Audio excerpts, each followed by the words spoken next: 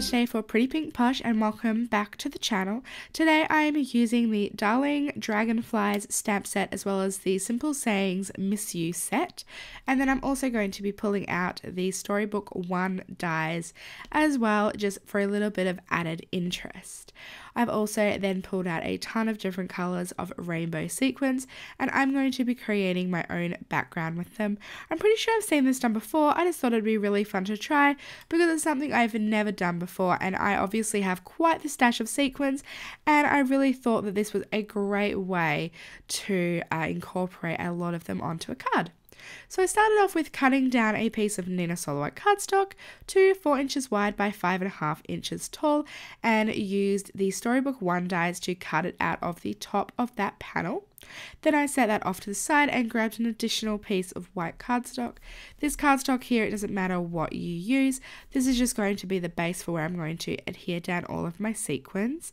So I decided that it would potentially be easier to lay down strips of adhesive rather than using Multi Medium Matte or another liquid adhesive repetitively. Um, so that's what I decided to do. I just used a quarter or an eighth of an inch, I believe, uh, adhesive. This is just some Scor-Tape and laid it down on, onto this panel and then removed the backers of a few of a time. And now I'm going to sort of arrange my sequins in a rainbow order, all in lines.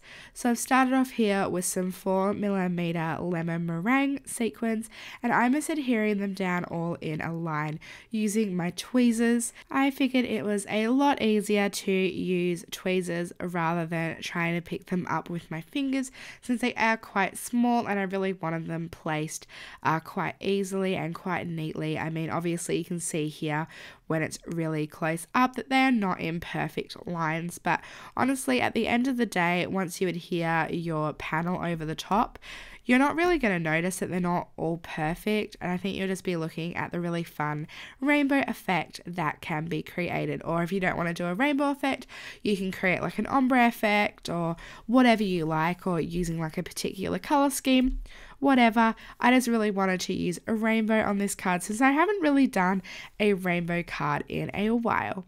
So I'm using alternating sort of sizes um, with the sequins as well.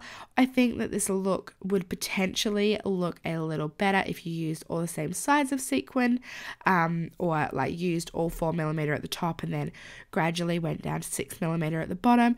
But honestly, I just didn't have all of the colors in all of the different sizes. Um, so I just mix and match them uh, as I go. Like, so you'll see there that I have some six millimeter in a line, like all under each other, and then I've got like four. Uh, four millimeter sizes um, all together, whatever works. I think it looks really great, and I really love the way that background turned out. So now for the images, I'm stamping down some Darling Dragonflies and just with some uh, Copic friendly ink. And then I'm just going to quickly color these in with just a few shades of Copic markers. So I wanted the um, wings to sort of have like a blue tinge to them. So I went in with B triple zero first. Then I'm blending that out with B quadruple zero and then blending that all together with just the plain zero marker. And this will sort of just fade out the edges um, and make it uh, just fade out into white really nicely, I guess. So I'm just quickly doing that. Then I decided to go in with a little bit of a yellow tone for the body and also the face. I wasn't really sure what color I wanted to use here. I was gonna originally use grey, but I sort of wanted it to be a bit more bright. So I decided to go in just with this random collection of yellows. So I started off with Y26, then I'm blending that out with Y21, only very lightly because I do want to use the zero marker again to fade the entire um, colouring into white just because I felt like it would look a little better.